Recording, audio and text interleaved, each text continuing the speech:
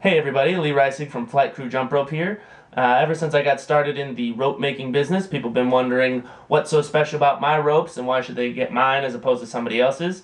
Well, here I will tell you, and uh, we're going to go by them piece by piece. So let's take a look. One of the main differences between myself and another rope making company is that I'm an actual jump roper. All right, I'm not a businessman, I'm not a manufacturer. I actually use ropes for a living. And so if I'm putting a rope out there, you can guess it's probably a quality rope rather than the cheapest materials or uh, the easiest manufacturing process or things like that. You know, um, these ropes are built by jumpers for jumpers, and so you know you're going to get a quality product when you order from Flight Crew. All right, so let's talk handles. We have four kinds of handles at Flight Crew Jump Rope. Um, first of all, we got the old school uh, short handles that um, most people don't use anymore for freestyle, but they'll use them for maybe double dutch speed with a licorice rope, something like that. Kind of small, pretty flexible. It's an all-around good handle, especially for um, people who like to go really fast and, and don't have big hands for kids, you know. Um, the second kind of handle, well, second and third, are the medium handles. Now, medium handles that look like this, uh, they come in two different uh, types. There is the soft, squishy kind, and there's the harder than heck kind. Now, the hard ones, they are very good uh, at holding their shape, especially when you're doing fast multiple unders in single rope. However, they do break all the time. Right around here, there's a there's a fault with them, and uh, you know I'm trying to contact the manufacturer of this handle to get that changed and they're telling me that not many people complain about it. So if you have these handles and you have them break all the time on you, please, please, please put in the comment box below. I'm tired of my handles breaking. And then I can use that to, to kind of persuade them to say, hey, everybody else thinks your handles break too. Um, there is the soft, squishy kind of this handle though, and these will last you a lot longer. They're more durable, more flexible. Uh, the only problem is, again, if you're doing anything like single rope multiple unders, sometimes they will bend while you're actually performing those skills. And so um, I don't use them for anything but Chinese wheel and double Dutch anyway. So uh, that's what I would recommend using them for. If you're going to use single rope, I would go with the hard ones. Just make sure you buy some replacement handles for them. And thirdly, we have our bread and butter, the long handle. This is an exclusive handle to Flight Crew Jump Rope. Uh, the place I get these from uh, actually doesn't even sell them anymore. They made them exclusively for me and my business. And so this is the only place you can get them. Uh, they're awesome. They're durable. They're harder than heck. Um, and they're long handles. a bunch of other companies will have grooves right here. I don't like that very much because unless your hand is shaped like the match to the groove, it's actually less surface area for you to grip on and I find it makes it a little bit more slippery. Um, it also tells you that you know the grooves are kind of designed to hold it right here or some some of them come with like a little cushy pad that's designed to hold the rope right here and that's not where you're going to hold the rope with a long handle. You're going to use the length of it um, and and hold it out here. So I actually like the smoothness of this because you can hold it anywhere you want and uh, not feel bad about it. Also another great thing about the smoothness is we're going to come out with some handle customized little tattoo things. This is just an example of something I had lying around. But if you imagine this red part being clear and then maybe a picture of your team logo or something on there, you can do that. You can put stickers on there. Uh, pretty much any cool customized design you want, you can put on there. And, uh, you know, it'll look cool. It'll make your handles look that much different than everybody else's. So uh, that's why another reason why I like the smoothness of it. Next up, we're going to talk about the cord.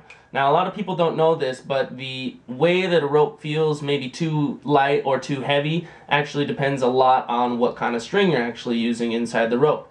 Um, I use a thick nylon, not a thick, but a tightly woven uh, nylon cord. It's 1 8 inch diameter, and uh, it's it's going to make your rope feel very responsive. It's not going to um, like a lot of times when it's a loose weave, when you pull the rope, it feels like the rope's behind you, making it feel too light. Um, but this is very responsive.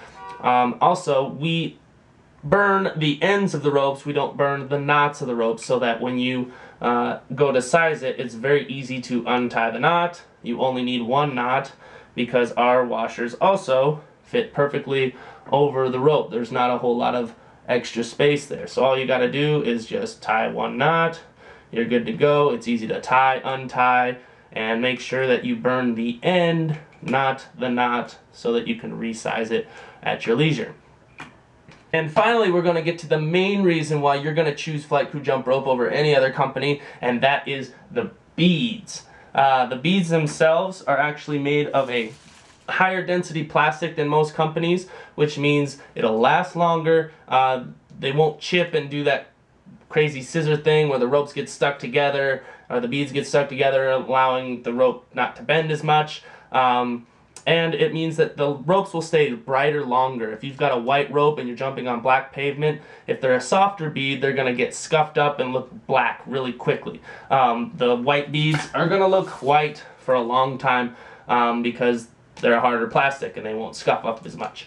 Uh, we sell all of our colors in 1 inch beads and 2 inch beads. So if you prefer the 1 inch for single rope or if you prefer 2 inch beads for whatever, um, I usually do 1 inch beads for single rope, 2 inch for double dutch, but it's up to you, whatever you want to do. You can actually mix and match all you want. Um, but yeah, we do. We have 20 colors, which is more than any other company, and we can go through all of them right now really quick. So we've got uh, neon pink, pink, red. We've got neon orange, orange, neon yellow, yellow, neon green, green, aqua, teal, light blue, blue, light purple, purple, gold, silver, bronze, black, and white. And of those colors, six of them will actually uh, glow under UV light. So here's a look at what those will look like um, if you have a UV show. A lot of people are starting to do that now, which looks really cool. Um, the other main reason why you're going to choose Flight Crew Jump Rope over any other company is that all of these ropes are custom beaded, which means every single bead that goes on a rope, I put on myself. Blue, white, red. Some of you don't quite appreciate what that means. It means every single rope is your own rope. It's your design. You can do whatever you want with it. Uh, let's say you go to um, a random jump rope shop online and you say, I want a jump rope. They're going to say, give me three colors. And you're going to say, oh, red, white, and blue. And your rope's going to look like this, the same that every single red, white, and blue rope looks like. Just like this, red, white, blue, red, white, blue, red, white, blue. But if you order from Flight Crew Jump Rope, you can get a rope that's mostly red with white and blue sprinkled in. You can get a rope that's mostly white with blue and red sprinkled in. You can get a rope that's mostly blue with red and white sprinkled in. You can get a rope that's kind of woven. It's got a little bit of red, long red, long white, long blue, and the other colors are intermixed in there. This is a pattern we call a weave. Red, white, red, blue, red, white, red, blue, red, white, red, blue. You can do one that's one long thing that has a solid section of red, then a solid section of white, then a solid section of blue. So that's just an example of red, white, and blue. All those different patterns you can get with red, white, and blue. Let's take a look at what happens when you start mixing other colors in. Um, here's one. This looks great. It's a gold, blue, and white. Gold, blue, white. You can do something like that.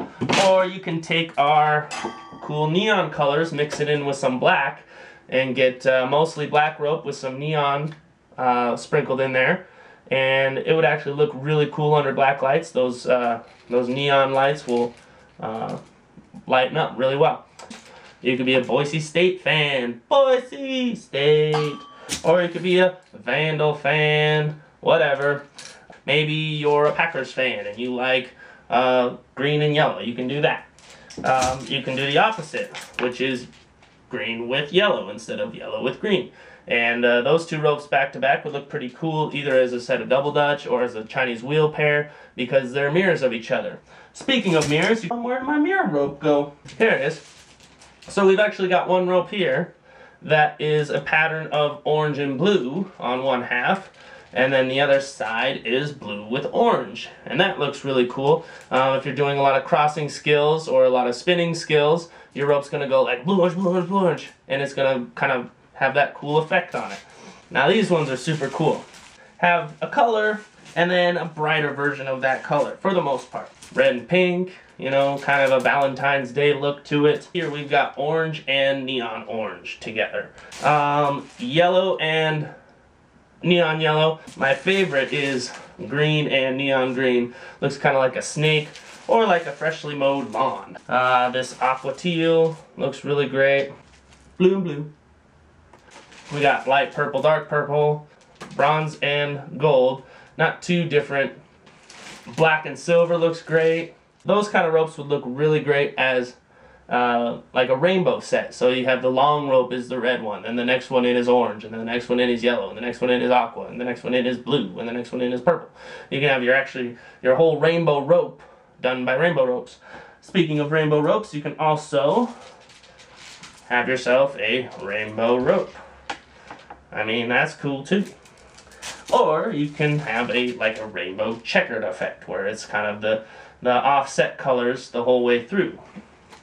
And that's kind of fun too. Some of you out there are kind of like me and you're a big old dork. So you can have a rope like this, just the first half of it. Um, this is one that I made today and it's got a whole bunch of one inch beads mixed in with two inch beads. This is actually Morse code for Lee is cool. So we've got dot, dash, dot, dot, that's L. Dot, that's E. Dot, that's E. Dot, dot, that's uh, I. Dot, dot, dot, that's S. And then dash, dot, dot. You get it. Um, this is actually binary code for Lee is cool. So we've got uh, our silver is 1 and our uh, purple is 0. So 0, 1, 0, 0, 1, 1, 0, 0, 0, 1, 1, 0. You know, if you go all the way down this, binary code wise, it would say Lee is cool. Um, again, some of you might say Lee is a dork, but I think it's kind of fun.